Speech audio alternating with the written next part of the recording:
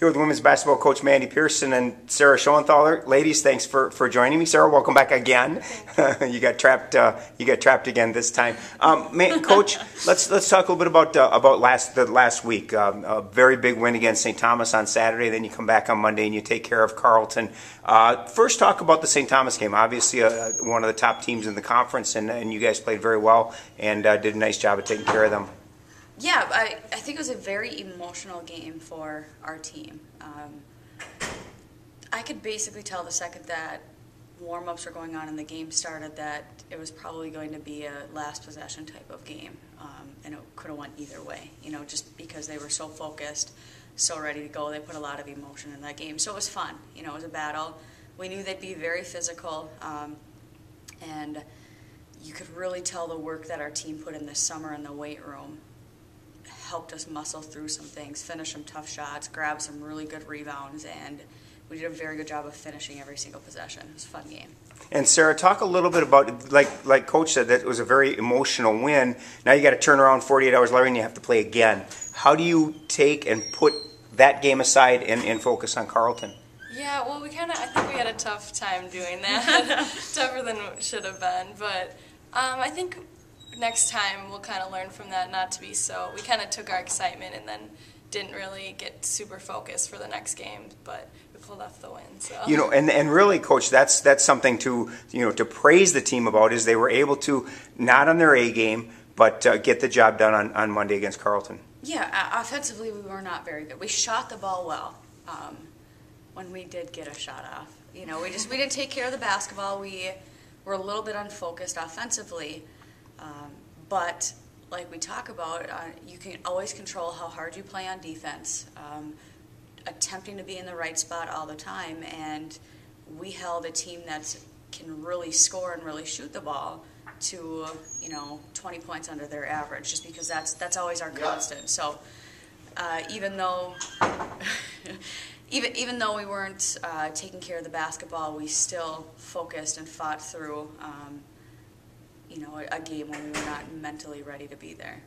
Sara, th- things, things seem to be rolling pretty well right now. You've won seven in a row. Yeah. How do you stay on that even keel? How do you make sure that now, come Wednesday, when you take uh, the court against Hamline, that you're you're focused and ready to go, and not kind of just feeling like, well, we've won seven in a row, that uh, you're unstoppable?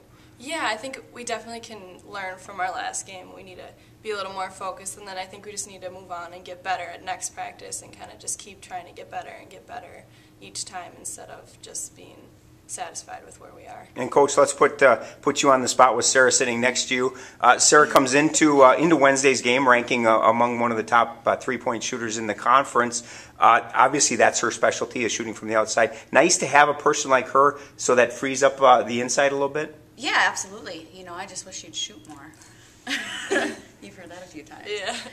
She. She's a very good shooter, um, but she brings much more to the game than that. You know, that's that's not her focus. It never has been. She is a lockdown defender, and she she does a very good job of um, when we're going through scouting reports and, and telling her things about our opponent. She's she's very focused, very competitive, very determined to do whatever it takes to help our team be successful. Um, and and I'm I'm proud of her this year because she is looking for her shot a little bit more. Just she just doesn't shoot enough. But that, but that's okay. She's unselfish, you know, and she's going to do whatever it takes to help us be successful. You know, and Sara, I ask the coaches this a lot, especially at this time of the year. But as a player, talk a little bit about this stretch that you guys go through. You played Wednesday, you played Saturday, you play Monday, you play Wednesday, Saturday, Monday again next week. Talk a little bit of how you're able to not only be ready physically, but also uh, take care of uh, all your classroom duties as well. Yeah, well, it's tough. We just started getting back into school, so I think everyone's kind of still